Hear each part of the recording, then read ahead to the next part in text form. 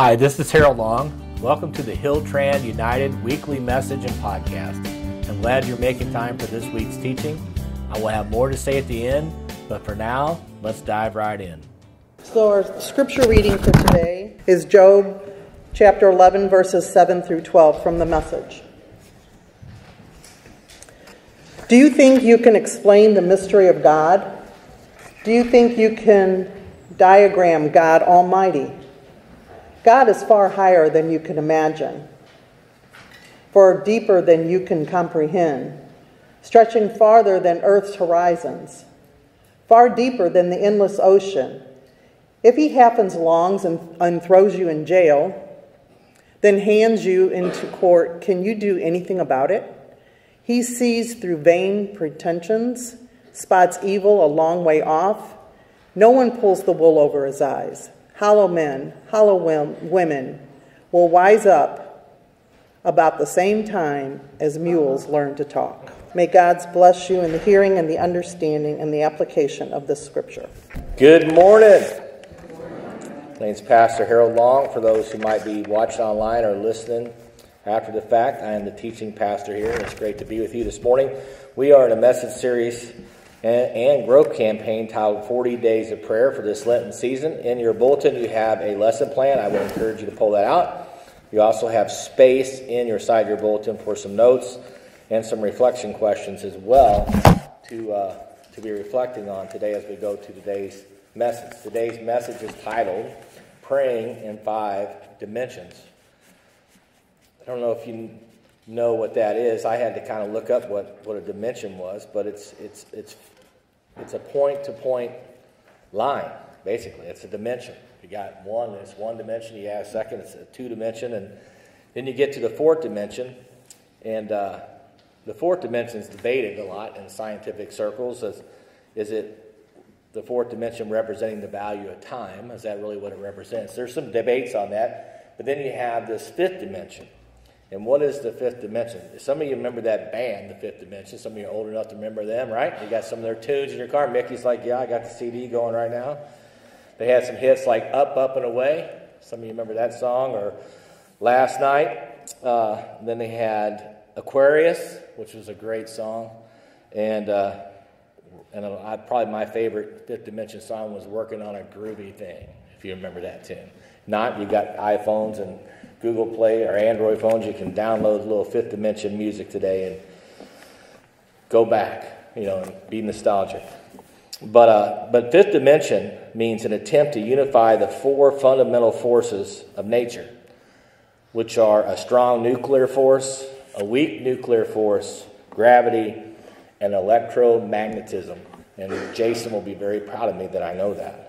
And, but the reality of it is, it's so far out of our space and time that we can't see it, so it's really irrelevant to us today. But there is the fifth dimension. But we're talking about the fifth dimensions and praying in five dimensions because, number one, and you'll see it in your handout here, get my handy dandy little clicker here going.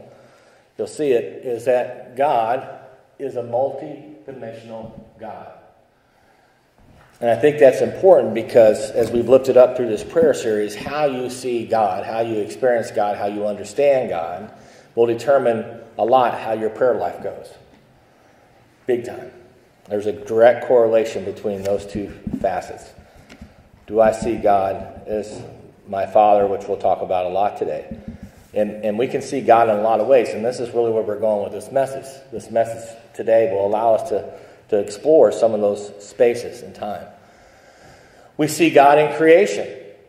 You've been around long enough and, and, and enjoyed what you see out in the world, whether it's the trees, it's the water, it's the skies, it's the sunsets, it's the rainbows. If you've been on any travel excursions, because we know we have world travelers here, you've been all around the world and you've seen some amazing things. And you cannot look at it and just have your breath taken away that that is from God, that God created that. That just, just didn't happen. You can, so you can see God's fingerprints on a lot of things. You can call it a sixth sense. We have our five senses, but you can call it the sixth sense in life, especially as you start to grow spiritually. You start to see God's fingerprints on a lot of things. And there's nothing else you can say, though, but that's, that's the mystery of God, and that's powerful. This scripture that Donna read for us this morning is a conversation that we see. But in Romans 1.20 it says, Since the creation of the world, God's invisible qualities, his eternal power, divine nature, have been clearly seen in what has been made, so that men are without excuse. And so we have no excuse because we can see God in nature. There's, you can't push back or argue against that. And you say, well, what about the person who's never heard the gospel? You know, what excuse they have? Well, they, they see God all over the place. If you study history, if you study the Native Americans and, way back as far as the earliest people, they were worshiping a spirit, they were worshiping a God, they were drawing pictures, they were doing emojis long before we had iPhones and caves, trying to describe this experience and what they saw, and what they felt, and what they, they witnessed uh, with God through the stars, to the heavens uh, onward. And so we're without excuse. We have we were created for relationships, so we have this automatic energy in connection with God. But we can see it in God's creation, and uh, and if you stop, it's it's amazing to uh, to look at. In this conversation with Job that we see, and you see that in your outline, this is a conversation you know that Job's having with God. He's whining about his life at the moment, and God. This is God's response to him. Can you fathom the limits and bounds of greatness and power of God? The sky is no limit for God, but it lies beyond your reach. God knows the world of the dead, but you do not know it. God's greatness is broader than the earth and wider than the sea. And see, you know, you know, in school we learned about evolution, and the first time I heard about evolution, it blew my faith apart. I mean, it really did. I mean, it just watered up my faith and threw it in the trash because that's not how I came. It's not what I understood about God. And now they give me this idea that the world's 4.5 billion years old and that it's evolved and we came out of monkeys or whatever. And here's where we are today. And that was a complete shock to me. And it really blew my faith apart. And it happens for a lot of people that way. I could just wad up my faith that day and threw it out before I walked out of class. And really just discounted what I've been taught through scripture and church and Sunday school. That was a real challenge for me. And then you get the Big Bang Theory. But here's what I know. Here's what I believe. I don't have a problem with the Big Bang, but somebody pulled the trigger. Right?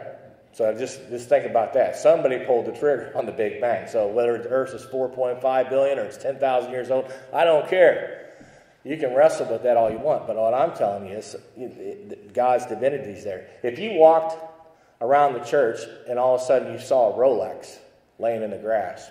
You know that just didn't get there by itself. Right? You just know that didn't happen. If you saw a rock sitting there, you would say it's no big deal. That's just, it belongs there. But if you saw a Rolex laying there, you would know that was out of place. And you know that it just didn't evolve by itself. It just didn't create itself, and one day there's a watch that's ticking and tells time, and it's cool and you can go pawn it for a lot of money. It's not, you know that. You know, it's so that, that so you see God in creation. I think it's important to, to know that and get that big time in life. Uh, to subscribe to, I, I, just don't have enough faith to be an atheist. There's because there's just too much evidence alone in, the, in creation by itself. Just by itself, there's too much evidence. I mean, to subscribe to the Big Bang evolution, that there's no intelligent design behind it. It's like believing that there was an explosion at the salvage yard, and when it was the dust settled, there was a brand new 747 ready to fly. You know, I mean, that's that's what you're asking for. It's just I can't put I couldn't begin to put my hands around that. Your next one that you see in your handout is we see Jesus' incarnation. God became flesh. The fact that God can become flesh is multidimensional means he can do a lot of different things. This is the mystery of it. But God became flesh. He came in the form of Jesus, right? And this is what the scripture says, John 1 4. 114. The Word became a human being and lived among us. We saw his glory, and he was full of grace and truth.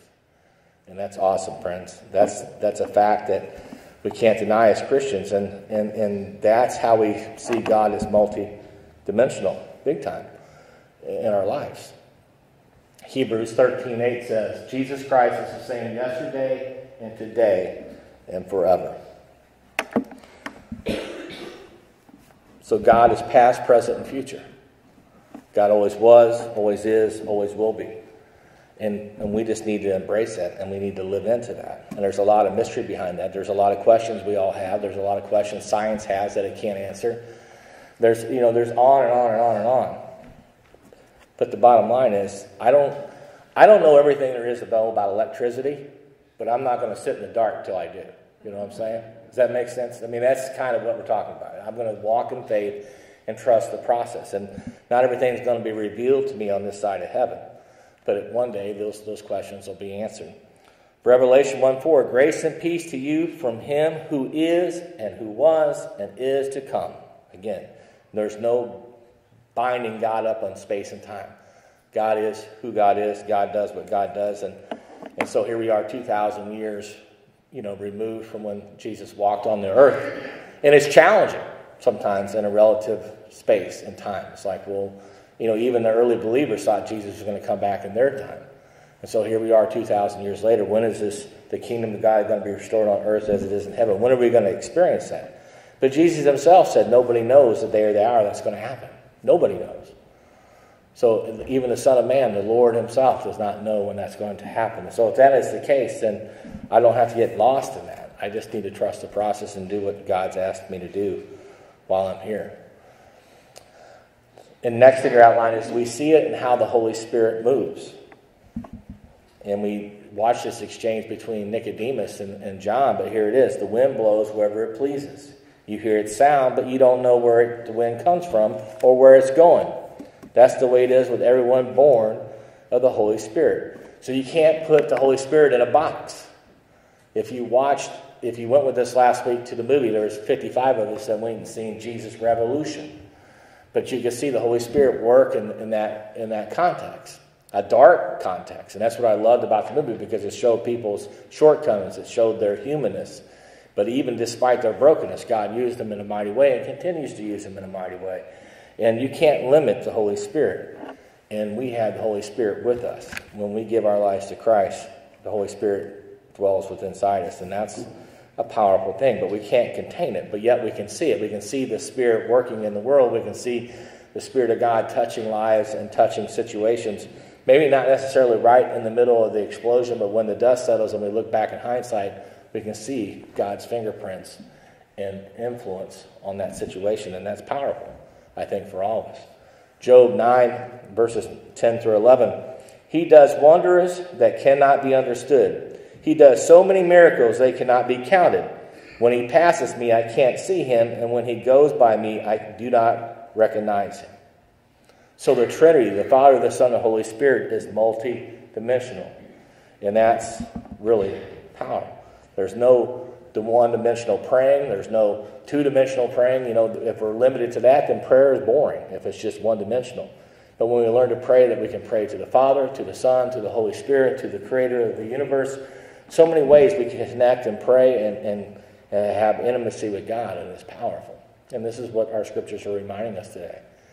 Because God is multi dimensional, I am never alone. And I think that's really imperative to know that. And listen to this in, in the Psalms Psalm 139, 7 through 12. Where could I go to escape from you? Where could I ever get from your presence? If I went up to heaven, you'd be there. If I lay down in the world of the dead, you'd be there. If I flew way beyond the east or lived in the furthest place to the west, you'd be there to lead me. You'd be there to help me. I could ask the darkness to hide me, but even darkness is not dark for you, and the night is as bright as the day. Darkness and light are the same to you. Really important, I think, to understand that we can't hide from God. Just because we're not in church, or just because we're not opening the Bible, or we're not listening to Christian radio, or we're not living a Jesus centered life, doesn't mean we are out of focus or out of God's sight you know, it's, it's, that old saying, you know, mom had eyes in the back of her head. You know, she always seemed to know what you're doing, you know, before you ever even did it, you know, because our, our parents know us well, right? Even our spouses, if you're with them long enough, know you well. They can finish your sentences for you before you even open your mouth. You know, I can look at Susie and she already knows what I'm thinking before I even say anything. Sometimes she's corrected me and I haven't even said anything yet. You know, it's, it's, uh, we get to know each other, right? And, and so God knows us. He knows every hair on our head. And may we never lose sight of that. So this morning we're going to talk about how to pray in five dimensions. And I think this is powerful.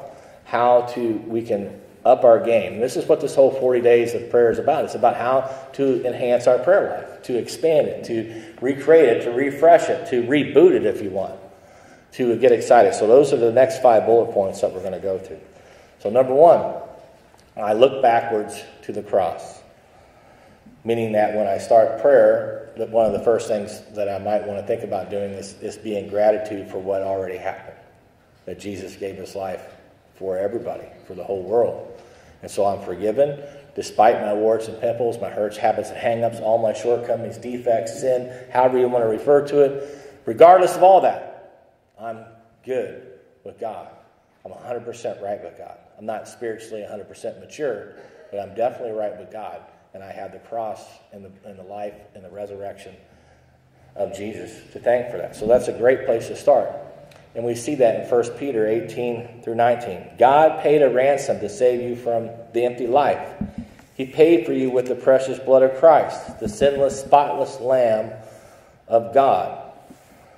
Our value is found in the cross. When you feel worthy, and sometimes even I go through these moments where I just don't feel worthy or I don't feel qualified or I feel, you know, less than, you know, this delusion of inequality, if you would, you know, on, you know, plaguing me in my life. But, but, but I get my value in life because of the cross. And so if you're in a funk, if you're in a, a, a state of depression or self loathing or self pity, and you're feeling sorry for yourself or just seems like life's not fair, Look back to the cross because your value's in the cross. Jesus gave up his life for you. For you. All your goofiness, you know, your dorkiness, being the biggest knucklehead in Jefferson County. Despite all that, Jesus died for you. That shows your value. That's something that's so that's a great way to start your prayer life is to acknowledge God for who God is and look backwards to the cross. Next, I look upward to my Father's loving face, meaning that I, I can have that visual. You know, that when, I don't know if you, how do you, you know, when you pray, do you just say God? Do you say Lord? Do you say Jesus? Do you say Father, as we're taught to? If you're in the 40 Days for Prayer small group study, there, Pastor Rick's breaking down the uh, Our Father in two different segments, part one and part two. But that's a big part of it is our Father who art in heaven. I mean, how do you approach your prayer life when it comes to God? So we start out with the cross, but then we look at the face of God and, and, and have that imagery. Use your imagination to think about that. Romans 8 15 through 17. You should not act like cowering, fearful slaves, since God's Spirit has adopted you as children into God's family. Instead, by His Spirit, we simply cry out, Abba, Father. And God's Spirit affirms that we are really His children. And since we now are God's child, we are also heirs with Christ, and we share in both the suffering and his glory. It's packed with all kinds of truth and all kinds of blessings when we think about that. That this is who God is. And that's, you know, if you go over to Jerusalem and walk through the streets of Israel, a lot, a lot of, you'll hear a lot of children running around going, Abba, Abba, Abba, Abba, Abba. I mean, they're, they're, they're calling out to their daddy. Well, that's how Scripture encourages us to approach God on a very personal way. God wants my prayers to be personal. Abba, Daddy, Father. I mean, I can go to God in that capacity. Do you already? If not, I would encourage you to think about that. To have enough humility and enough gratitude and enough reverence to be able to do just that. Two is to cry out with passion. To be passionate by your prayers. It's okay to cry. It's okay to be emotional. It's okay to be angry. It's okay to ask questions. It's okay to have doubts. It's okay to have all these things, just like your child coming to you. Questioning things, having doubts about things, heartbroken about things, sad about things, excited about things. You can approach God in those same ways. It's not some, you know, if God is, a, you know, it isn't like it's a job interview, you know, or, or, you're, or you got to go see the parole officer, or it's the FBI wants to talk to you. But if that's my mindset, then prayer becomes a duty and a drudgery. I go back to that, but it's really important because if you struggle in your prayer life, I can promise you it's more about your relationship with God and your understanding who God is than it is what how you're praying or how you're trying to pray. I guarantee it. And so this is a common question pastors get all the time. I'm really struggling in my prayer life. What are you praying about? How do you pray? What are you reading? What are you meditating on? These are common questions that you get all the time. But I can promise you, if you peel back that onion almost every single time, if you ask them about their relationship with God, it's maybe twisted at best, or, or it's put into that category of authoritative, punitive, um, judgmental, big brother mindset. And so you, you go to head, you go to God with your tail between your legs, and you almost feel guilty for being who you are uh, your past, present, and even future. So that's not how we're asked to go to God. And, we, and by His Spirit, we are in partnership. We are in partnership with God. And that's really important. A, a good phrase to write down, it's not in your bulletin, I don't believe, your handout, but it's all three in me Father, Son, and Holy Spirit. All three dwell inside you. If you give your life to Christ, then they dwell inside you. You might say, Well, I don't feel it, I don't experience. Well, regardless, it's there. God is deep down inside you. Every man, woman, and child is this fundamental idea of God. And when you ask God into your life, God dwells inside you. And that's highly important. We see in Romans 8 26 this quote Also, the Holy Spirit helps us with our weakness. We often don't know how to pray as we should, but the Spirit Himself speaks to God for us, even begs God on our behalf, in deep groanings and feelings that words cannot express. So we have the advocate, the counselor, our friend in the Holy Spirit that's with us. So even when we can't know what to pray, you know, what do you, what do you say for somebody who's really suffering? What do you say for a volleyball player who's lost both their legs? What do you say for 21 million people in Ukraine that don't have a place to live and they're out in the cold and they're just trying to get firewood to stay warm? You know, what do you say to those people? Well, sometimes you don't have to have all the words, but just know this truth that this God, this triune, triune God, this Father, Son, Holy Spirit that dwells inside you, and this Holy Spirit prays on your behalf when you don't know how to pray or what to say. That's a really important thing to hang on to, I believe. Next, I look inward to Jesus living inside me. Again, all three of me. I have the Father, Son, and Holy Spirit. We see this in 2 Corinthians 13 5. Examine yourself to see if your faith is real and growing. Test yourself. Remember that Jesus is living in you unless you failed your test. So either you're going to grow or you're going. You know, as Mother Teresa says, I say it all the time, you got to remain green because green things are growing. So are you growing? Are you maturing?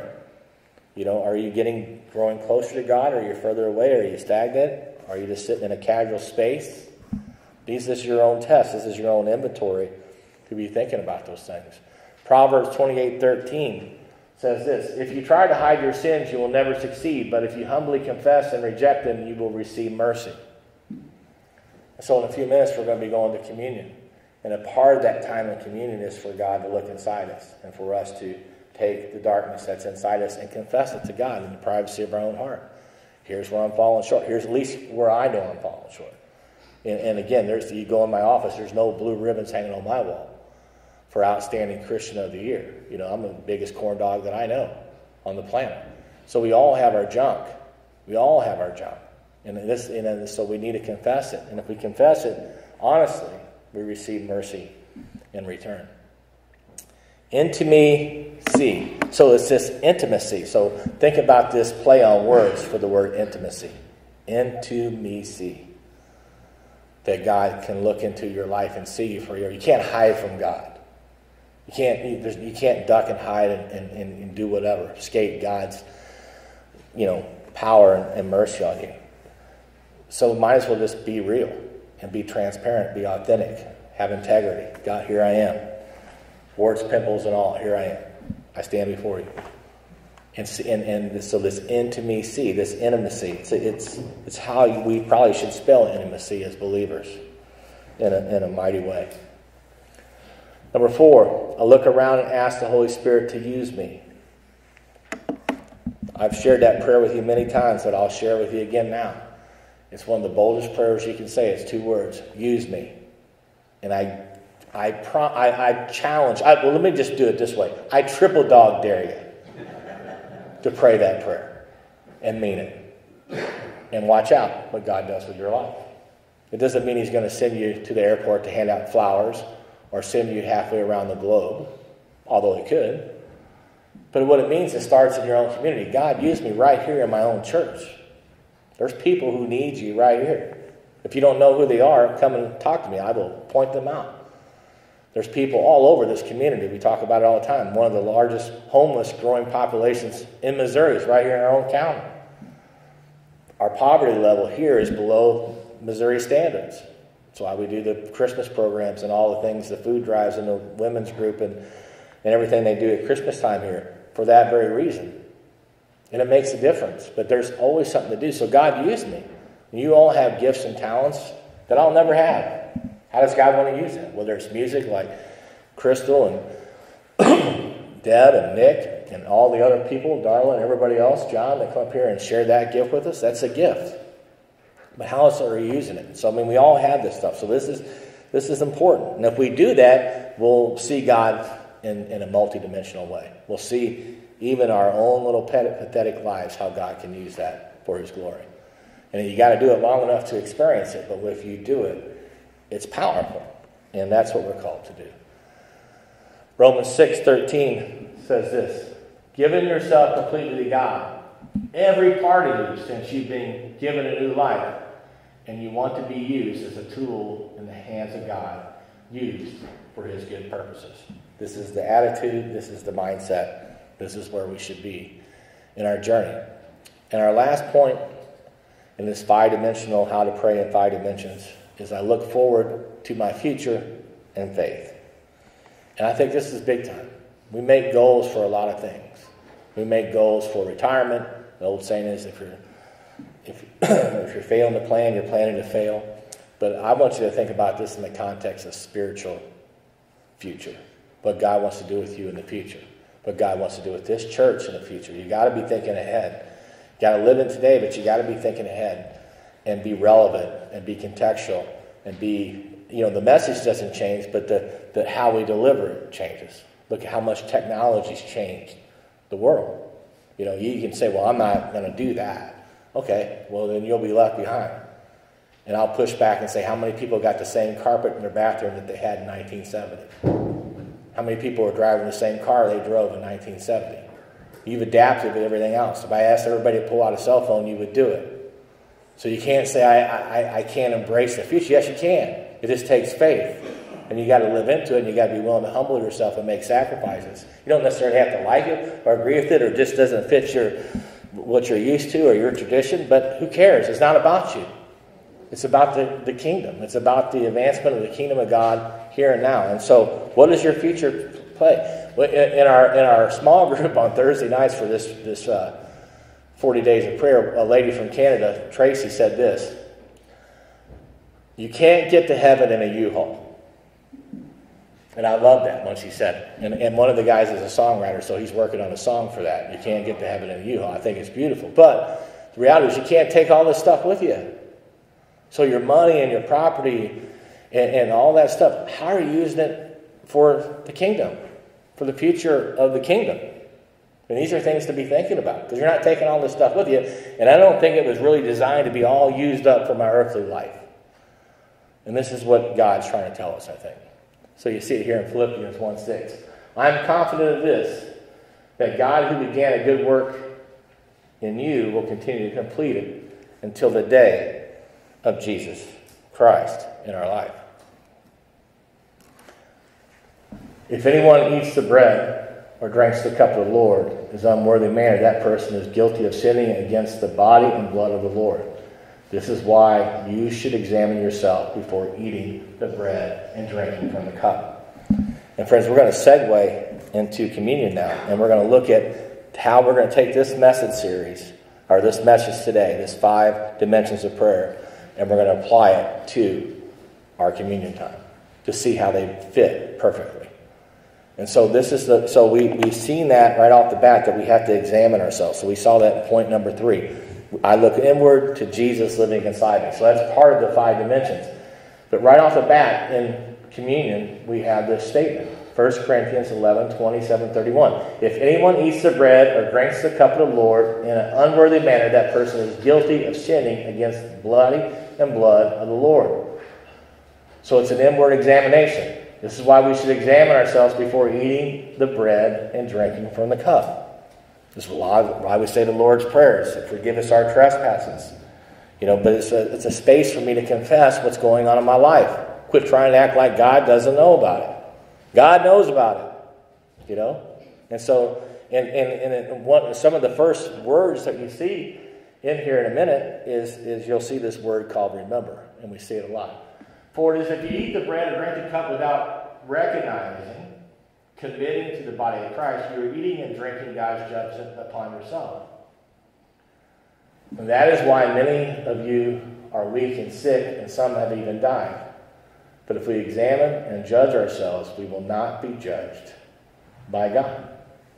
So, communion is more than just a sacrament or a means of grace. It's all that. But it's, it's so much more than that. And you can see that today in, in our scripture readings in a mighty way. This is a scripture you should, everybody should memorize this scripture. This is a scripture you can say in the shower, you can say driving to work, you can say when you first wake up, you can say it before you close your eyes at night. But you should memorize this scripture. Again, it's about searching me. Search me, O God, and know my heart. Test me and know my anxious thoughts. See if there is any offensive way in me, and lead me in the way of everlasting. So it's just, you know, here it is. It's a personal inventory, sharing the exact natures of our wrongs, as our friends in recovery would so often lay out in, in the 12 steps, you know, the, the step five of, of sharing our entire life story. You know, just here it is good, bad, and ugly. Here's my life, the truth. Search me, God. And this is the mindset we should have as we prepare our hearts to come to communion today. So here's how we bring it all home. No one loves us more than our Heavenly Father in heaven. So this is this is the five transforming truths, if you would, about communion. Nobody loves us more than our Heavenly Father. So, this is the mindset I should have when I come to the table this morning, that I know that truth. 1 Corinthians 11, 23 to 25. For I received from the Lord what I also passed on you. The Lord, on the night he was betrayed, took bread, and when he gave it to you, he gave it thanks. And he broke it, and he said, This is my body, which is for you. Do this in remembrance of me. It's, it's just a highly important scripture. And we see it again here. In the same way, after supper, he took the cup, saying, The cup is the new covenant in my blood. Do this wherever you drink it in remembrance of me. So, twice, he gives us that word remember. Remember who I am. Remember why you're coming here and why you're celebrating the sacrament today. Remember who I am. And think about this. I'll, I'll give you this question. When I am most, when, when are you, I should say, most likely to forget how much your Heavenly Father loves you? Friday night, before you go out? Monday morning, when you're ready to start your week? I mean, it's really easy to forget how much God loves us, friends. Really. And the next question I would ask is what sin or sins do I habitually fall into when I forget God loves me? So when you forget this truth that God loves you, this number one bullet point, that no one loves us more than our Heavenly Father, what do I fall prey to? What is my go to? Is it food? Is it porn? Is it gambling? What is it? We all got there's these worldly vices that we fall trouble to, we fall prey to. Power, glory, prestige, going down the line, I can list a bunch. When we get into trouble, it's when we doubt God's love for our life. We become almost an atheistic moment. We become atheistic when I give into the dark side of myself. We belong to each other in God's family. That's our next bullet point. We belong to God, to each other in God's family. That's why we're here. That's why we come to church. We come right. I came right in the middle of the pandemic. You guys weren't even meeting at that time. and we got together virtually. But still, the problem with that is, and there's some people, and I'm talking the Big C church, that have never made it back to church since then.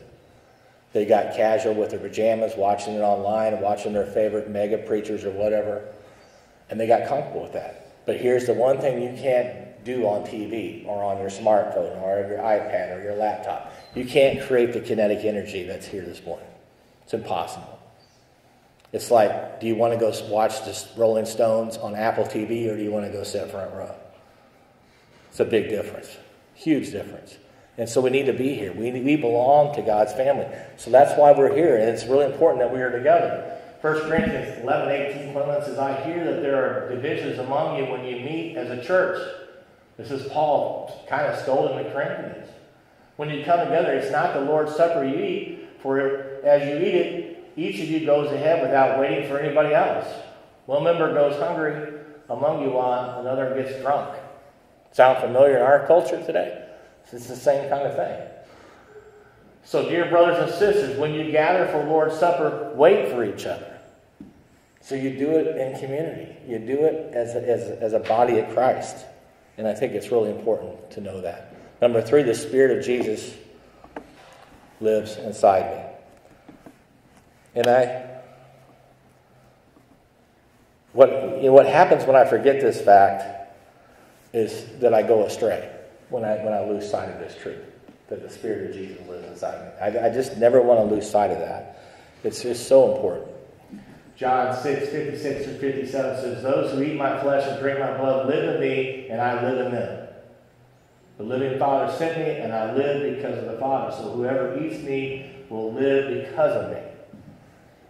And so this mystery of faith, this mystery of communion, is, you know, we're partaking in a reminder and remembrance of what the cross is, what Jesus' life meant, but also that Jesus is dwelling inside me. Number four, the life is not the end of the story. This isn't just it. Ron Bradley, his life didn't end, it just began. You know, this earthly life is short. Even if you live to be 100 years old and get your face on a Smucker's jar, you know, even if you make it, Yes, I got my, I'm on a jelly jar. You, you make it to that. It's just the beginning. Eternity's forever. And so do we know that? Jesus is coming back to judge and reward everything. We see that in John 6, 53, 54. Unless you eat of the flesh of the Son of Man and drink his blood, you cannot have eternal life within you. But those who eat my flesh and drink my blood have eternal life, and I will raise them at that last day. Just like you raised Ron Bradley and just like He'll raise you. And that's another part of communion. You see how this all fits together? I mean, it's easy just to go through the, the simple great Thanksgiving and the hymnal and miss really the big, big picture of what God's trying to tell us here. And lastly, Jesus is coming back one day to judge and reward. So these five parts of communion are things that we're all going at the same time as we celebrate communion today past, present, and future and communion. And it's important. 1 Corinthians 11 26. For every time you eat this bread and drink this cup, you are announcing the Lord's death until he comes again. That you are part of the kingdom of God being spread and coming back. So, so many times we think about it, or it's taught, or we, we assume that it's a future experience. It's going on right now. You are part of this bringing this, this salvation to earth. You're part of that right now as a Jesus centered follower and living a Jesus centered life. This is what we're about. And so, as we close out today, I'm going to invite you to stand and we're going to pray. And we're going to say the Lord's Prayer and we're going to go to our time of communion. If you've never been to communion with us, we use grape juice mainly for our friends in recovery. We have regular bread, but we also have a gluten free option, and it's in a, in, a, in a smaller bowl up front. So if you prefer a gluten free option when you come forward, it, will be right there. Um, when you come forward, Susie's going to help serve today, so she'll give you a piece of bread, or I will, and we'll say, This is the body of Christ given for you.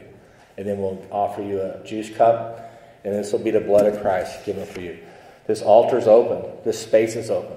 I mean, whether it's your pew, the privacy of your own heart, right here, right now, you can use this space to practice what we talked about this morning. There's dispensers at the end of the of the altar for you to get rid of your juice cups. But know that you're invited. If you confess Jesus Christ as your Lord and Savior, you are welcome to participate in communion this morning. So I want to pray for us, and then I'm going to segue us into the Lord's Prayer, where I'll ask you to join me, and then we're going to celebrate communion together. Heavenly Father, we thank you for your word, and we thank you for this 40 days of prayer. We all need to up our game in our prayer life, and whether it's just to refresh it, whether it's to, to grow it, whether it's just to have intimacy with you at a much deeper level all kinds of reasons. But help us to see you in a multidimensional way in all the things we lifted up today. That you're everywhere, you're omnipresent, and we just got to look and we will experience it with our sixth sense. So we pray for that today. We pray for our hearts, we pray for our minds, we pray as we come forward that we confess to you the privacy of our hearts, our darkness, our shortcomings, defects, our sin and we ask for your mercy and your grace and your forgiveness. We pray that we recognize the five things that we lifted up about communion today, and that we can take that with us as we go out. That you dwell inside us, and that you choose as kingdom people to live your life through us. Help us to get out of the way of ourselves and allow the Holy Spirit to do that through us. We pray this boldly, and we pray it in your Son's name. Amen. We're going to join in the Lord's Prayer. You all know that prayer. Let's share that together. Our Father, who art in heaven, hallowed be thy name. Thy kingdom come, thy will be done, on earth as it is in heaven. Give us this day our daily bread, and forgive us our trespasses, as we forgive those who trespass against us. And lead us not into temptation, but deliver us from evil. For thine is the kingdom, and the power, and the glory forever. Amen. This is Harold. Thanks for listening to our weekly message and podcast. I hope that we have shared something helpful to you wherever you are in your spiritual journey. Just so you know a little bit more about us, we are Hilltran United. Hilltran United is an alliance between Hillsboro United Methodist Church and Transformation United Methodist Church. We are kingdom churches and kingdom communities for people who aren't into church. We meet Sunday mornings at 9 a.m. at Hillsboro United Methodist Church and 11 a.m. at Transformation United Methodist Church. Both churches are located in the northeastern tip of the beautiful Ozark Mountains, located in Jefferson County, Missouri. We also meet during the week in smaller groups that we call life groups and home churches, and that's how we make it relational. We hear regularly from people from all over who are engaging in personal and group studies based on our teaching, and we would love to know if that is happening where you are at. If you want to connect with us, you can find us on Facebook, Twitter, Instagram, Vimeo, and YouTube, or you can download our app from your favorite app store. Just search for the app titled Our Church by Church Dev and enter in Hilltran United, and you can access all of our available audio, video teachings, plus through the app can, or our website, you can download our PowerPoint slides, bulletin, sermon notes, and discussion questions. It's all there for you. And lastly, if you want to learn more about how you can support Hillsboro United Methodist Church or Transformation United Methodist Church financially, please go to www.hilltran.org for more information and to give. We appreciate anything you can do to help. Hey, thanks for being a member of this extended church family. I'm glad we are in this together as kingdom people, commencing shoulder to shoulder to help people rediscover life and experience the kingdom of God.